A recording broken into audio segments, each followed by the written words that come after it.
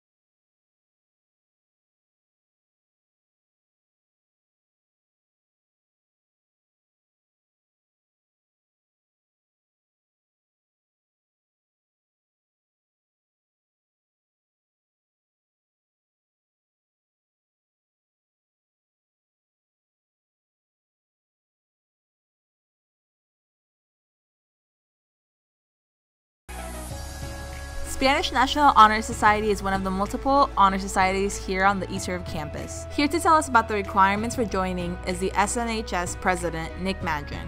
My name is Nick Madron, and I'm president of Spanish National Honor Society here at East River High School. Spanish National Honor Society is an academic honor society focused on Spanish language and secondary education.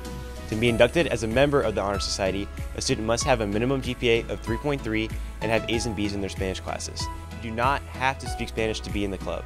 But to remain a member and be in good standing, you must attend 80% of the meetings. And here's Eric Gershman, the vice president, to talk about the society's history. Hi, my name is Eric Gershman, and I am the vice president of Spanish Honor Society. Spanish Honor Society was created in 1953 and over 2,000 kids are involved with the society. Becoming a member of the Spanish National Honor Society has many benefits, especially when applying for college. You can use this society to apply for colleges, use it for college resumes, and it also transfers to fraternities like Sigma Delta Phi. This year's induction ceremony has already occurred, but if you want to be inducted into the society next year, you can see Mrs. Hornick in room 573.